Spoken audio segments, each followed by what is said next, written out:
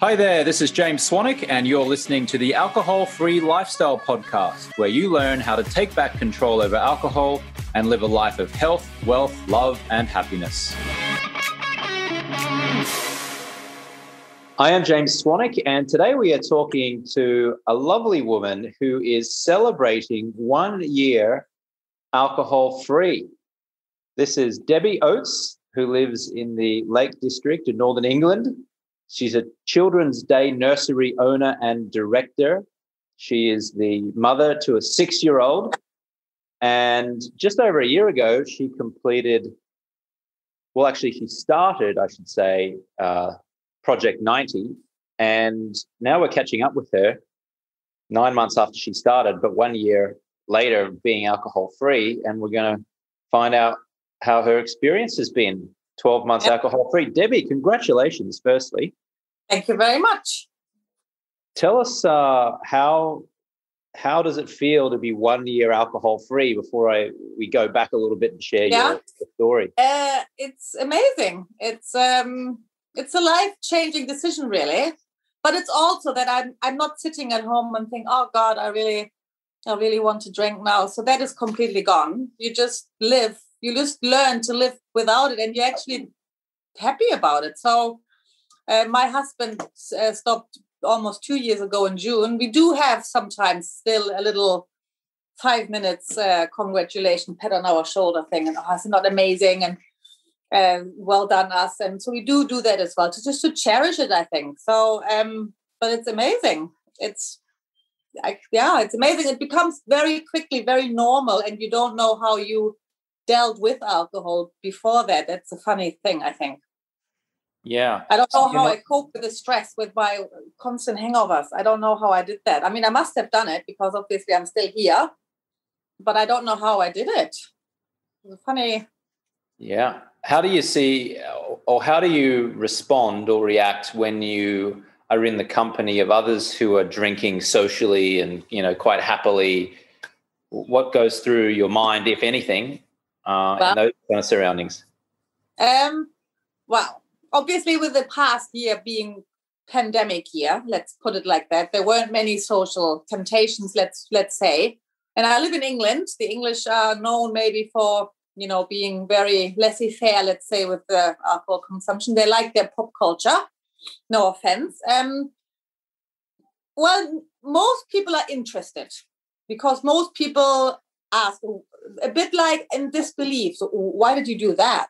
It's like oh yeah why not? You know so it's a it's a it's a question which comes automatically now. Um and then first they kind of try a little bit to oh come on it's you know just one it's my birthday or whatever. We had a, a staff leaving party the other day well just with colleagues and they brought prosecco in. Oh come on just have one it's my last day. And it's like no i but once they realize that you are sincere about it and that you're not really embarrassed about it anymore, I'm not embarrassed to say, well, no, I, I stopped drinking. They're actually quite inquisitive. They ask you why that is and why why did you you know and suddenly you realize that they get uh, interested in what made you stop drinking and they you can see their thought process you know what i mean it's a it's a funny and then you have actually a really good conversation with it and people are then very accepting they don't try to force you anymore or come on just last just one last one or so it just stops there because i think they see that you are quite comfortable with it and quite sincere and then they're just not asking any more awkward questions really. And what feedback have you got from people after they realize you're alcohol free or what feedback have you got from people who maybe have noticed a shift in you this past year compared to previous years? Um well, I think, well, some people say, well, I, I can't stop. Uh, you know, um, I'm in complete control. And then I always think to myself, well, I thought I was, but you are not really, are you? So, but I, I, I'm not lecturing anybody. So, because I think it's a, you, you can't win the argument. It's like convincing someone you have to believe in God now. So you can't win it. So if someone doesn't want to stop drinking, then that's fine, isn't it? Um, Well, I got compliments in regards because I started, I always wanted to do a master's degree, but I never had the time. As you always say, oh, doc, you know, can't be, can't do it. You know, I'm a mother, I, you know, I can't, I, I own my own business. So I enrolled finally. And people said, Oh, how are you going to manage it? And I said, I don't know. I will find out, you know, um, but I want to do it. And I managed quite well. And I think that feedback is that people realize that you are getting things done in a way. So even though they don't they don't reflect it to alcohol i think or i know it's because of that but i'm not kind of promoting it really. Maybe i should but i think they are surprised oh well well done. Oh you're doing this now? Wow that's how how do you fit that in the day? And it's like in my head i always think well the three hours i was normally sitting in front of the telly or in my front of my you know having my dinner and drinking my bottle of wine that's the three hours now which i have free and can read my things or do my studies or go to bed early and get up early the next morning and do two hours of you know what i mean? So they don't realize that it has a side effect and yeah. So i think the feedback is positive even though not everybody makes a connection to or you stop drinking if you know what i mean. So that's only for me. So i'm quite proud of that actually because i think well normally i wouldn't have done it yeah, so it seems like you've become increasingly productive yeah. uh, as a result of being alcohol free. That's what I'm picking. Yeah. Yeah. yeah.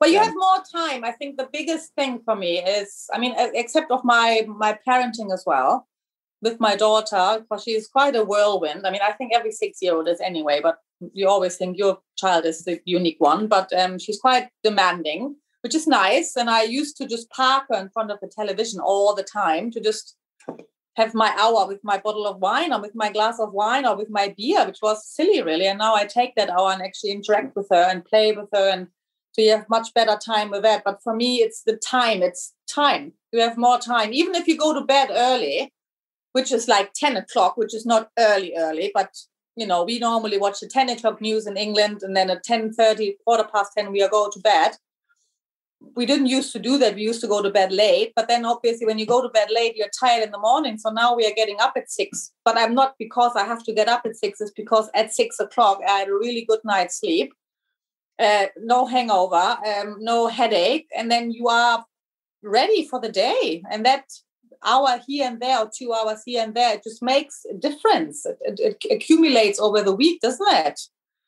Even on the weekend. It's just amazing how much you get done and you get up early, especially with the good weather now. It's it's light in, in, in England. We six o'clock the sun is up and it's a bright blue sky day and you automatically wake up with more energy and that's just I think for me the biggest yeah, the biggest benefit really. Time. Take us back to a year and a few months ago. Yeah. Uh, what were your daily drinking habits and how did you identify those drinking habits were compromising areas of your life? Uh, well, my drinking habits uh, before I stopped, I mean, it was also again lockdown. So they say everybody drank more in lockdown anyway. But um, for me, it was I came home regularly and I was stressed and I had to drink to relieve my stress. So sometimes um, I think me and my husband, obviously my husband a bit uh, earlier than me, but when he was still drinking, our habit was really come home first walk was to the fridge bottle of white wine. And i loved white wine you know sauvignon blanc was my thing. And before we did anything else so we didn't you know child walked in straight to the telly we went to the fridge had a bottle of wine or a glass of wine and then the evening started. So and that became a habit a really bad habit. And um, you feel it because i every three days i had to go to the bloody supermarket and buy more wine or every second day. So you do feel oh god another one is empty.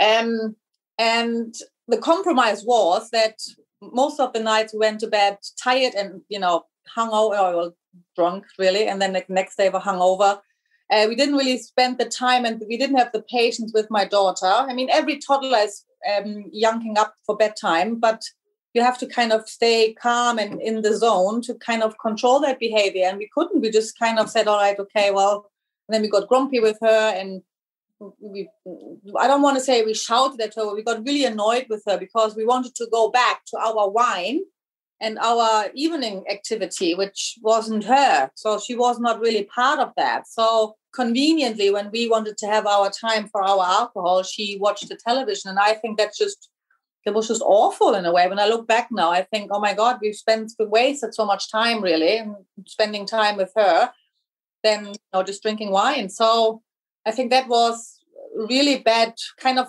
downhill cycle. And then we argued, me and my husband, we did argue a lot as well, because when you are drunk, you don't reason, you don't, or you reason differently. You, and then the next day you woke up and, oh, you think, oh, why did we argue? I, I can't remember. Uh, but then you feel guilty about it and you feel a bit anxious about it. And it's just awkward, isn't it? So that just adds to all the stress. And the funny thing is, the next day, it starts all again, isn't it? You do the same thing just to kind of relieve your stress again. So it's a real devil cycle, isn't it, in a way? And I think you only realize that when you go out of it, of how it is, because when you're in it, it's quite, it's your routine, it's your habit, isn't it? It's your life. So, yeah, funny thing. And so, what was the what was the time or the moment or the incident or the accumulation of incidents that led to you first of all doing the 30 day no alcohol challenge program that I offer, and then completing that, and then enrolling in the Project 90 experience. So, what what was the what was the catalyst for taking the action? Um, well, I think the worst thing for me is that my husband and I at that stage were at a very difficult moment in our marriage, really. So. Um, and I don't want to say it was the alcohol, but it was many other things. And I think the alcohol was really the trigger for many of our difficulties. And it was at that stage where we I knew I had to change something. And not only like, all right, I'll, you know, give him a little bit more attention. It was a drastic change, really, and uh, to save the relationship. So I remember that we um it was just before lockdown last year, and we have a um a second residence, uh, which is a, a, lighthouse, effectively. So we rent it out at the moment. So uh, for for holiday lets, and obviously with lockdown, nobody was able to um, to rent it. So we stayed there over lockdown, which was amazing. It's an amazing uh, uh area of England, and um, I sat in the garden. I thought, okay, what am I going to do with my life? Am I going to waste my life and lose my husband and just, you know? And then, and I thought, I need a challenge. I need something to take my mind off myself in a way to just focus on something else for a while. And everybody in England, I don't know in America, but in everyone, they did all 30 day challenges in regards to um, exercise or 30 steps a day or whatever. And I thought, no, that's not big enough. And then I found your video, and I, it's really that random that I thought, you know what? And then the video gave me, made me really think is that maybe the reason? And I know my husband got really angry with me because he stopped so long ago. And he said, oh, You should really stop drinking. I said, No, no, the drinking is not the problem. You are the problem. So, and when I read your 30 uh, day, uh, like the description of it, I thought maybe that's really the reason. Maybe the alcohol is really, yeah, standing in my way of being happy. And that was for me the moment where I thought I'll just have to try it. And I was a bit worried about it because I, you know, I like my white wine and it's a big change but i thought i'll just gonna try it for 30 days and see how i feel and after a short while obviously i think halfway through it i already thought this is different but good different amazing so you that was halfway through the 30 day challenge you were yeah. feeling like okay great yeah. and then you completed that yeah uh, and you felt pretty good i guess and yeah uh, rested and energetic and i don't know little changes already, isn't it? Better sleep. So you are, you know, I mean, the, the fact of our eldest daughter, 23, you drink with 23. So obviously she's drinking less actually, which is, it has a benefit on her as well because she sees how we are now without alcohol, that she often sits with us now. And I think for my younger daughter, it will be completely different because I don't think she will grow up with alcohol, which is, I think, fantastic. I think she will, you know, um, we all i know when we're young we all kind of get pissed and be silly and everything but because she's watching us having fun more fun with alcohol and spending more time with us i think it's teaching her a really important life lesson and you know because we used to sit with my eldest daughter we used to sit with her and got drunk with her i mean how awful is that with a 21 year old but wow. you do that sure. Oh, come on, have another glass. And, you know, and then you're silly. And then they, they, they think it's hilarious. Oh, my parents are, you know, but awful. I mean, when I look back at it, saying, oh my God, what, what lesson are we teaching her now? And she's off now with us. And, you know, so she sees a huge difference. And um, so, yeah, so after the 30 days, I knew I didn't want to go back to drinking, but I also didn't know how I how I how how to do it in a way. You know what I mean? Because I'm the kind of person I like these group calls. I like the support. Um, I thought I need some some something to kind of keep me going a little bit because I know I used to stop. I used to smoke and I stopped smoking, and it took me five attempts to stop. And I'm not a very willpower person, so I thought I need that um, security net. My husband didn't. He just willpower. You know, stop, switch, fine. And then we started to listen to all these people. We um, listened to a podcast, obviously, all you know, your podcast, other podcasts out there. I don't want to promote any other, but there's like one year no beer, and we and all the people said the same thing. And I just thought, well, I want to be part of that. So for me, the group gave me a lot of exchange that I'm not a weirdo. Because you do have funny thoughts at the beginning, don't you? Ooh, what am I doing if I go to a restaurant and I can't order wine? What am I drinking? you know um oh god will i be strong enough to say no if the waiter says i have a really nice bottle of red wine for you and we have an italian restaurant here and he always has really nice wines and i said oh what will i say to salvo if he brings a really nice red bottle for me and I, all these insecurities where you don't you know where the temptation might be there and oh will i be strong enough to say no in that moment isn't it so yeah, so for me, then the 90 day challenge was definitely the, the, the next step um, to get where I'm now, really.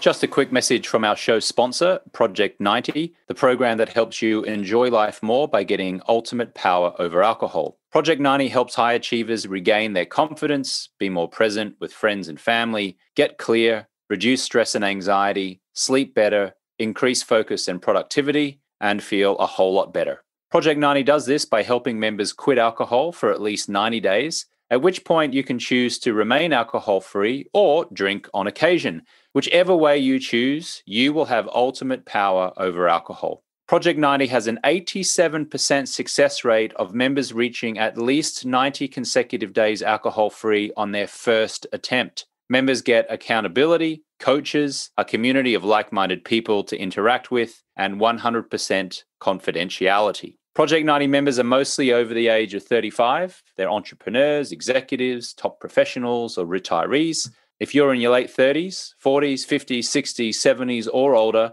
and you consider yourself a high achiever, and you're ready to upgrade your life by quitting alcohol for at least 90 days, maybe more, then you're invited to have a free 50 minute exploratory call with one of Project 90's trained coaches. If you'd like to book that call, you can go to alcoholfreelifestyle.com slash schedule. That's alcoholfreelifestyle.com slash schedule. Or if you're on your phone in the US right now, you can send me a text to the number 44222 with the word Project 90, and I'll send you back a calendar for you to schedule your call. Send me a text to the number 44222 with the word Project 90. Okay, let's get back to the episode. And so, what was your experience like when you went through that 90 day process? And why do you think that was so instrumental in you getting long term power over alcohol? Because a lot of folks think that if they do a 30 day no alcohol challenge, that all of a sudden they've broken through and everything's fine. And now then they're going to have power over alcohol for the rest of their life, which oh. most most of the time it doesn't happen. Um, because a lot of people, especially with these dry Januaries, you know, it's like, oh. I'm going to do dry January, but of course, you're just waiting for February 1st to roll around so you can celebrate with a drink, and then you just go back to the old habits. So, um, what was it about that 90 day process that you went through in in in Project 90 that you think made the, the, the fundamental shift in you for it to be a long term habit, and that long term habit being alcohol free? I mean, um, I think the coaching. I didn't manage every week because sometimes it because of the time difference, the group calls sometimes were either too early, bedtime five year old, or too late in the middle of the night in the UK. So I couldn't join all of the group calls, but the coaching always worked. And that's once a week, isn't it? So, and I had that with Kevin.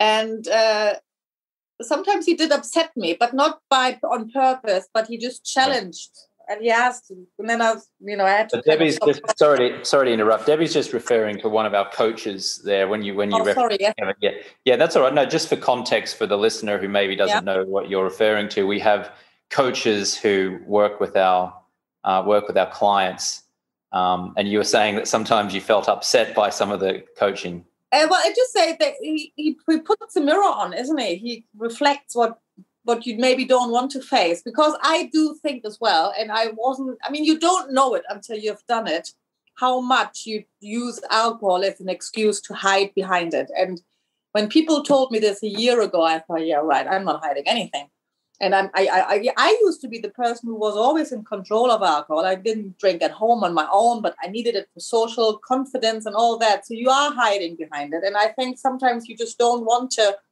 hear that that is a weakness, isn't it? And when someone tells you that directly, but not rude, but just directly, and you think, hang on a minute, who are you again? You kind of feel a bit offended, don't you? So I, there were moments where you just had to like think about it and then think, maybe he's right you know maybe and then you then the thought process starts and i think that's where it digs deeper in where you then really take those moments and and think yeah, he, he might he might be on something there, and and I think that's where you find your strength to say no. I don't want to drink anymore because we had the discussion the other day. Um, because my eldest daughter asked me, "Oh, will you ever go back to it? Just for a glass, you know, a nice glass of red wine with your fillet steak?" And I thought, you know what? In theory, it sounds fantastic, doesn't it? If you had one glass, but I think I would not be able to I would not be able to leave it there. Um, I think it would then lure me in. You know what? You would then everything you worked for in the last year would then kind of slide away again. You know what I mean? So for me, it's really no. It's I said no to it, and I don't look back. Um, and I'm glad about it. So I just it's like someone made the decision. I made the decision, and now I don't want to regret that decision. So, and I'm quite happy, and I'm happy with it. You know what I mean? I, I can't really explain it any better. Sorry. Does that make any sense? You're doing great. So you don't feel like you're depriving yourself of any enjoyment or pleasure or fun by choosing no. to be alcohol free? No, not at all. Yeah, that's an important distinction because a lot of folks feel like giving up alcohol will send them into a prison yeah. where they're depriving themselves of life's pleasures. Mm. I can, I, I, uh, I can, I see, yeah, I can understand. I think that was my worry as well last year. Like, what are you going to do? And it's a funny thing because, um, I mean, again, it, it, the year was a funny year, so you couldn't maybe socialize as much as you wanted to. So that, like I said, the pressure was maybe less. But I know that last summer in England, we were less lockdown, so there were more more freedoms. And we have a and the best example I can tell you, we have a friend couple, and they love to drink, big drinkers, and we always used to go there. We got absolutely leathered with them, we had a good laugh, I must say. And they invited us for dinner, and I said to my husband, "What are we going to do with them?" You know, so we didn't drink.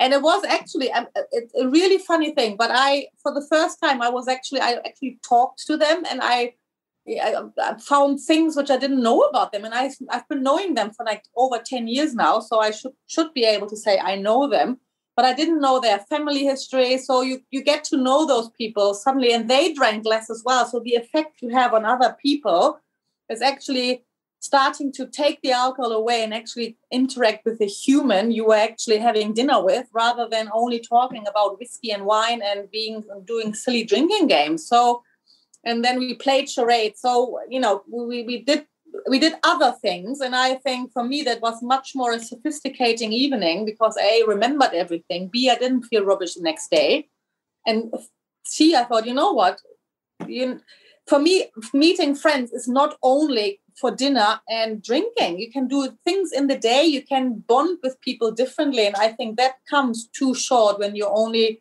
invite them to dinner and it's basically an excuse to get you know get bamboozled really isn't it? So now you're starting to actually interact with the humans and maybe join interests together. We i with that lady i started boot camp now. I hate boot camp by the way.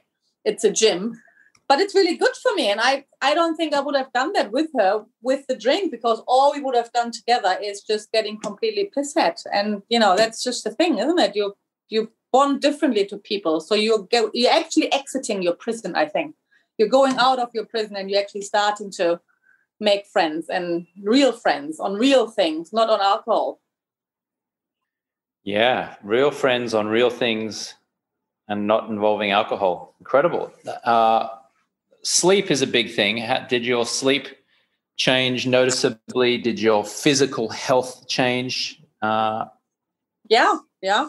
Um, yeah, I started, like I said, I started boot camp, which um, I needed to do something.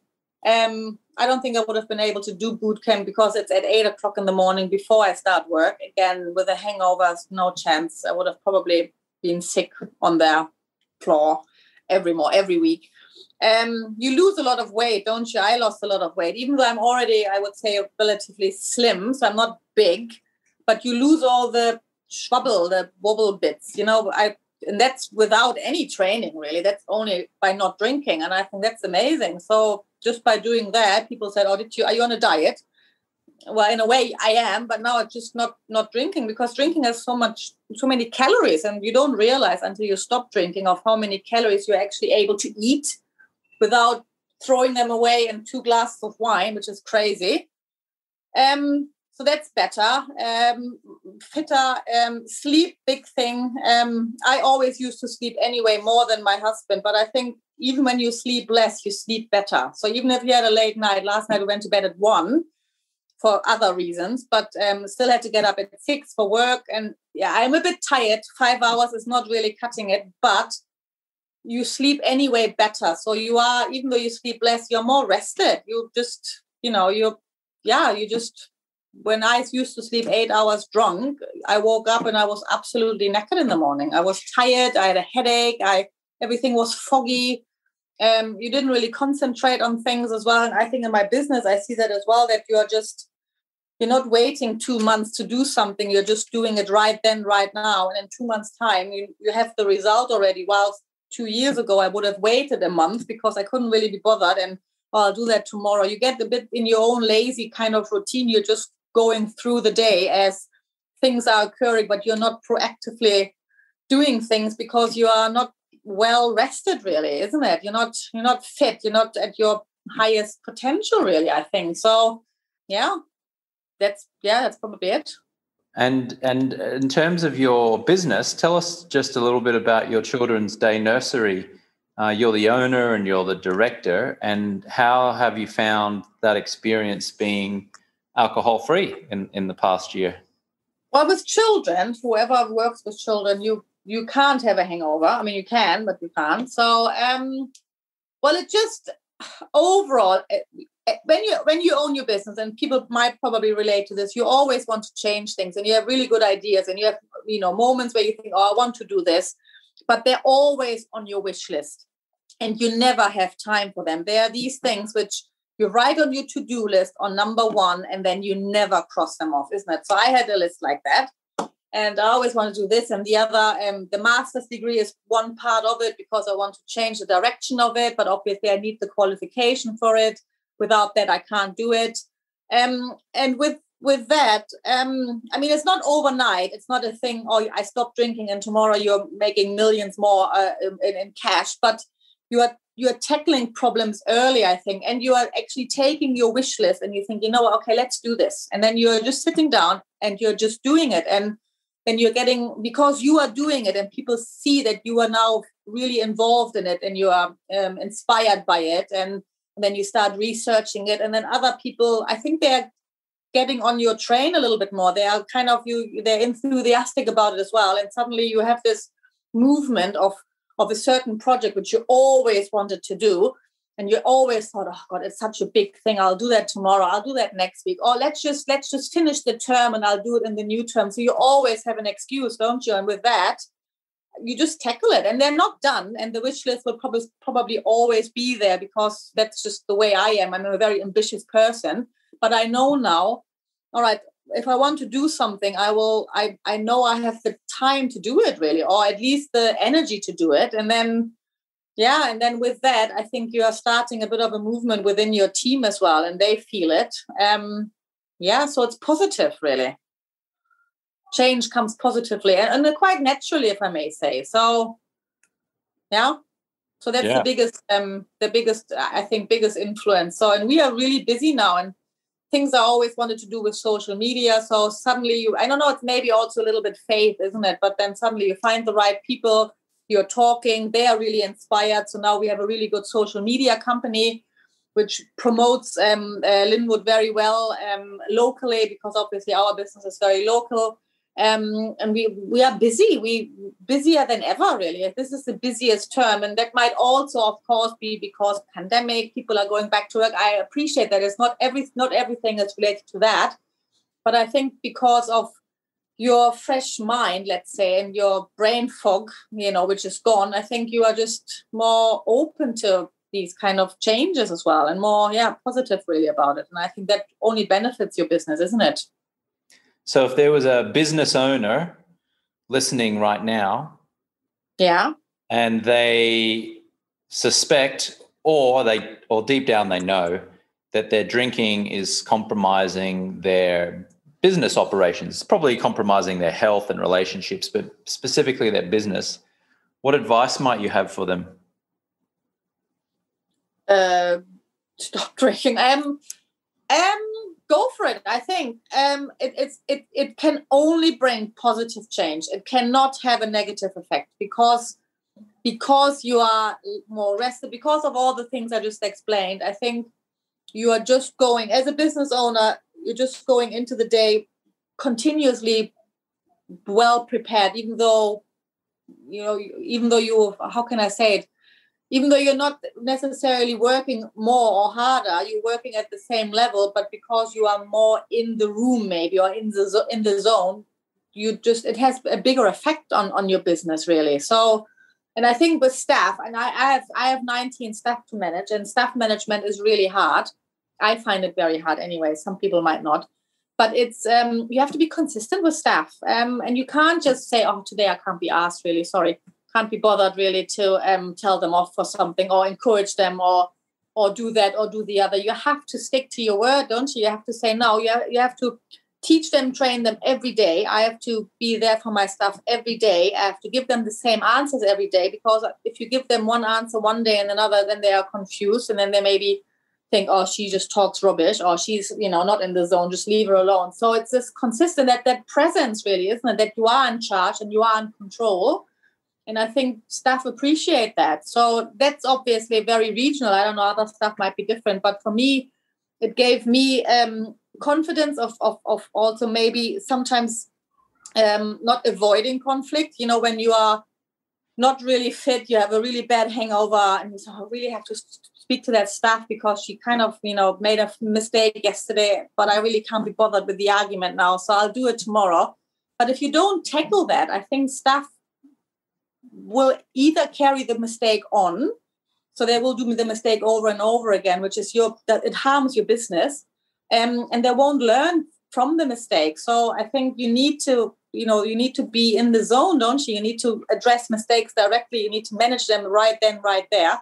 Another example is we are doing appraisals once a year and i always hated appraisals because i was never really you know you don't have the time to prepare for them. They are hard work you know but this time I was really positive about it. And uh, rather than taking a month to do them, I did them all in like 10 days. So I had two a day, which are hard work sometimes. But the feedback I got, and because everybody knew that I would not shift those appraisals, I had to do them. Um, suddenly there was this positivity in the in the in the team where they maybe felt listened to and they felt, oh, you know what, she does really care what I think. And she just really looked how I work and she gave me good feedback. And because it was immediate and everybody was in the same kind of uh, time frame, um, they were all very positive. And I think that's also a key of success, isn't it? If you have motivated, happy staff, especially where I work, then you you bring the, the business forward. Our parents feel that the staff are happy, and I think that's what you want, isn't it? You want that kind of positivity going over to your clients and saying, "Oh, they are a great company. They have really good staff, and their customer service is amazing," or whatever. In our case, it's the care, and that's the word goes around, and suddenly you get more people buying your product, or in my case, putting their children into my care, really, and that's what I want, isn't it? I want more children. I want parents to come. So it does affect. And I wouldn't have, and I, I without with with the alcohol, with the you know, with the the tiredness, the headaches, the the laziness in a way as well, the being oh god, I groggy, feeling exhausted. I that start it reflects on stuff. The, the management style goes back to them. They, they they they see that, even though they can't pinpoint that, but yeah, they yeah. Well, Debby, thank you so much for sharing your incredible journey. Congratulations on one year alcohol free. It's amazing. And uh, yeah, continued business success, continued relationship success, and continued uh, health success, obviously, on this alcohol free yep. journey that you're on. Yeah, thank you very much. Here comes to 2022 then. yeah. Now it's going to be, we're going for two years alcohol free now, you think? Oh, yeah, definitely. Definitely. Yeah. Amazing. Well, Debby Oates from the Lake District in Northern England, thank you so much for your time. And thank you very much, James. Yeah, absolutely. And to you, the listener. Say hello to one. Say hello to Kevin from me and Anton. Yes, yeah. You want to say hello to the team? Why don't we put you? We'll do a little Marco Polo here. You can send a little message to the Project 90 current Project 90 clients who don't know you. We'll keep recording here for the podcast so that, so the listener can can listen in. So we have this little group on Marco Polo, which is a little video messaging group. And uh, if you yeah, want to, yeah, I have that. I have that app still. Yeah, let's let's have you send a little message. I'll I'll set it up. Here we go. Hello, Project 90 clients. I am live on the podcast right now interviewing Debby Oates, who is one year alcohol free today. And Debby joined Project 90 uh, a year ago, which is incredible. Debby, any message? Hello. Our, yeah, any message for our existing P90 clients? Oh, you are doing all great. Keep, keep, keep, keep going. Uh, it's completely worth it. Um, it's the best experience ever. Um, you, you all doing fantastic. However long you are in the journey, the longer you go, the better it gets. Completely worth it. Don't give up. Amazing. Thank you, Debby. So one year alcohol free today.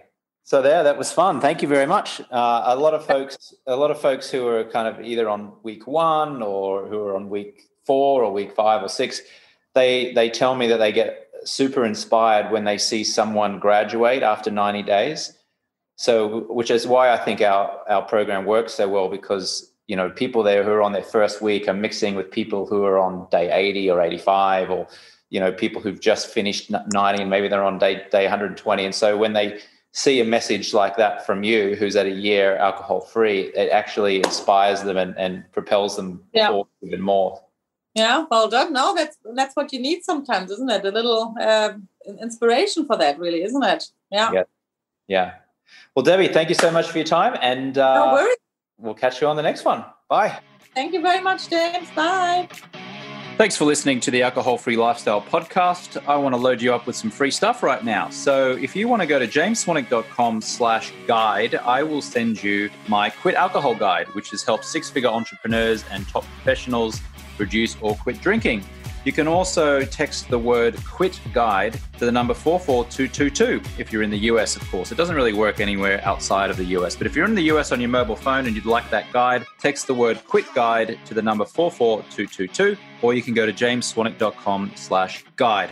If you'd like to schedule a free 15 minute call with one of my top coaches, just an exploratory call to see if or how we can help you, then you can go to jamesswanwick.com slash schedule, or you can text the word project 90 to the number 44222 if you're listening in the US on a mobile phone. That's jamesswanwick.com slash schedule, or you can text the word project 90, that's one word, project 90, to the number 44222. Feel free to send me a direct message over on my Instagram account, which is at James Swanwick. You can also watch video episodes of this podcast and a series of other educational videos on my YouTube channel, which is James Swanwick1 or you can direct message me on Facebook at James Swanwick Official. And finally, a request. Would you please now write a short review of the podcast inside of the Apple Podcast app on your phone or on iTunes on your desktop computer. Would you please give the show five stars and write a quick one or two sentence review? This will help the show get in front of even more listeners, potentially transforming someone's life. You can rate and review the show inside of your Apple Podcast app on your phone or over on iTunes on your desktop. Thank you so much, and I'll catch you next time.